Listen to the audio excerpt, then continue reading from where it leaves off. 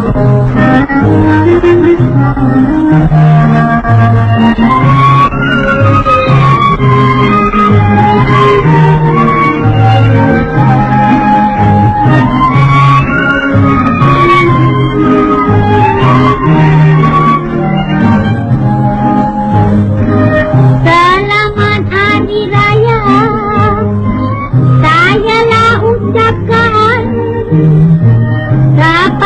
一步吧。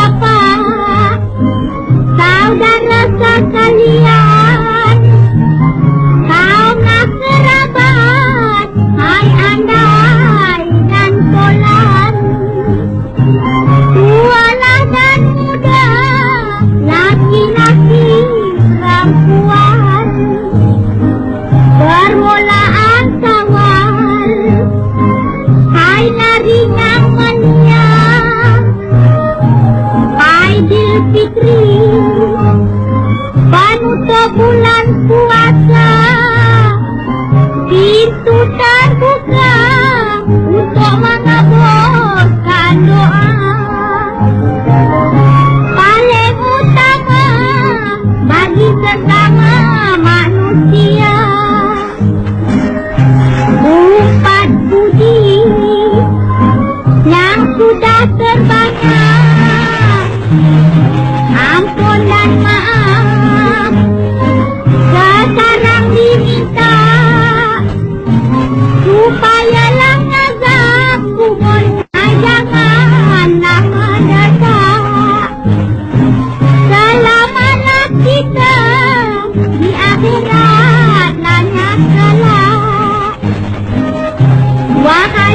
黎明